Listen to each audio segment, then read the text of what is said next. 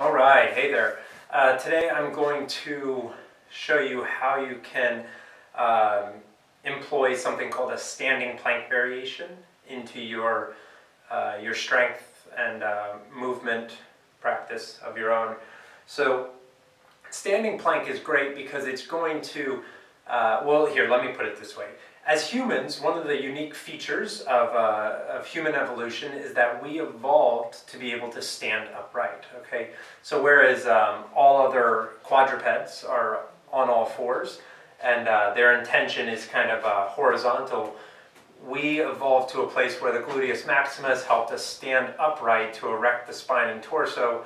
So it, it changed, um, well, I mean, it changed several things, but the biggest thing is uh, gait became a uh, was a result of this bioenge bioengineering over thousands of years. Anyways, I don't want to get into all the unique characteristics that came to be as, as humans, but the reason I'm interested in standing plank variations is whenever people are trying to get stronger, they're always concerned with working their planks on the ground. Uh, forearm plank, straight arm plank, one arm plank, you know, you, you name the plank and you see it done in the fitness industry.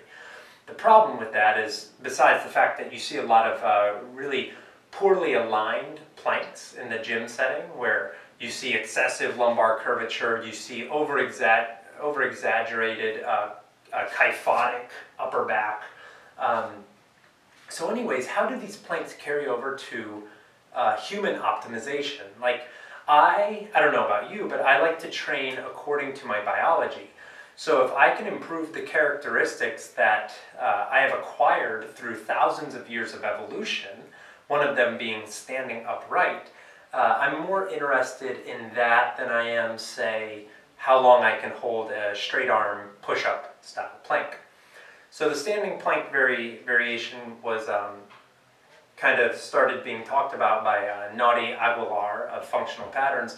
And the more I start to practice it, employ it with my clients and then with myself, uh, it made a lot of sense. Like each day I'm standing, each day I'm sitting, I'm walking, I'm running. Why not improve the biological characteristic that has taken thousands of years to evolve? Why not um, make it so that it's more efficient? Uh, especially in the 21st century, we're hunched over computers, all right? We're hunched over a steering wheel. Uh, we sit on the couch. We're just, we're, um, you know, we've gotten to what's called the, what I refer to as like the Bronze Age of, of mankind. Um, we're not playing anymore. We're not using our bodies the way that nature intended us to. So anyways, without me getting into it too much, I want to demonstrate the standing plank variation, something that you can easily uh, um, do and perform at work, at home, with your trainer, at the gym.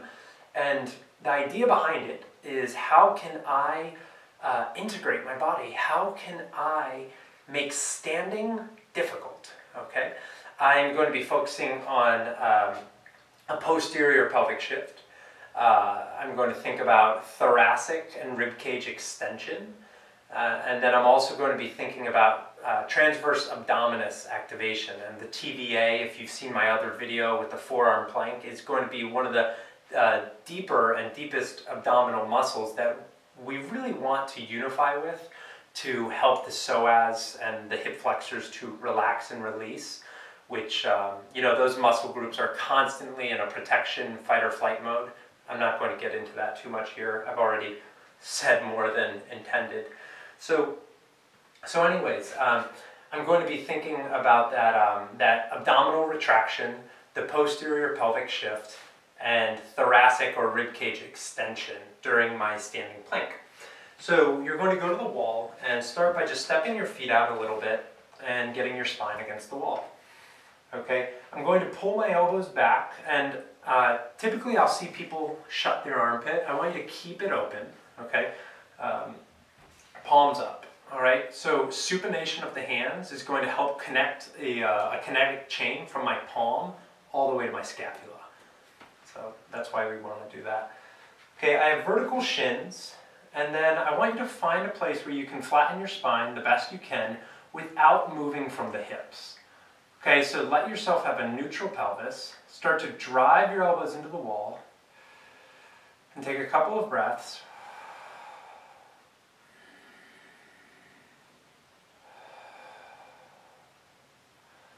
Now in terms of my feet, I'm thinking of pressing my heels down, apart, and out. And you'll start to feel a little bit of engagement at the lateral butt cheek.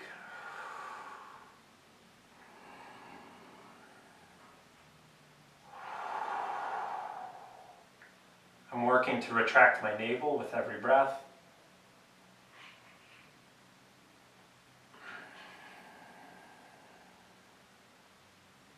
All right, now pulling your elbows into the wall, I want you to start to lean your spine forward.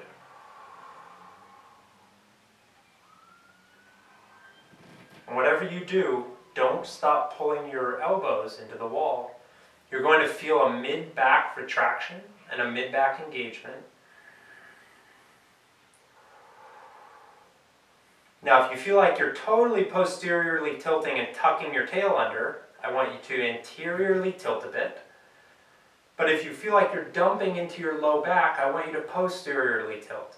So again, you're looking for what's called like a neutral, uh, neutral pelvis. And this is it. I might lift my gaze a bit to encourage thoracic extension.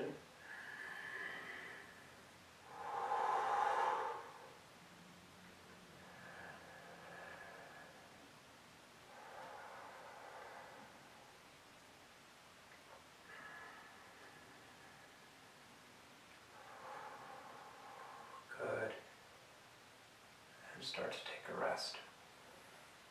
Okay, so as I'm creating the vacuum seal on my abdominals, paying attention to that navel and uh, stomach retraction, you're, you're actually going, like what you want to experience is a decompression of your low spine, as if your spine was kind of wringing out and getting a little bit taller.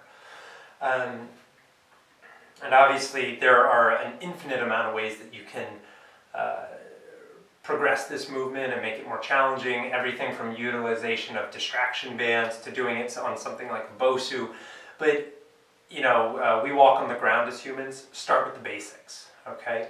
Um, again, key, employ this idea that you're trying to uh, you're trying to facilitate the intrinsic uh, muscles of your body so that the extrinsic, the superficial ones, can relax and shut off, okay? And this is going to help to create a um, like a, an anti-gravity response on the joint system and you'll start to feel your muscles uh, lift off of the joints and it, will feel really really good. Um, and that's that's the idea with alignment-based training that I that I use. Um, and that that people like Naudi Aguilar and other trainers um, are using. Is like how can I create movement without creating inflammation at the joints, okay? And the standing plank variation is an awesome, awesome way to uh, take your planking to the next level. So, uh, so that's it. Yeah, I, I, I hope you use it and ask questions. It's always best to do this under the guidance of a, a coach or a trainer to make sure you're eliciting the proper response. But uh, thanks for watching. Give it a try. Thanks.